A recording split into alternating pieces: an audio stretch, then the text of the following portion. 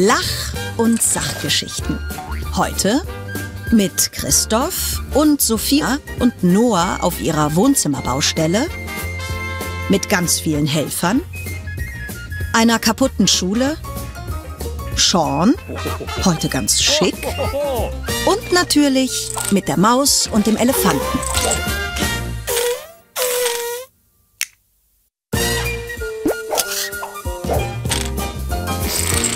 Забавни и поучителни истории днес с Кристоф и София и Ноа и техния строеж във всекидневната.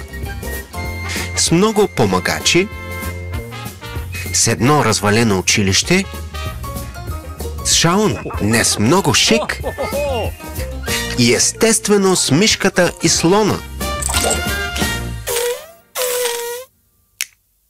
Das war Bulgarisch.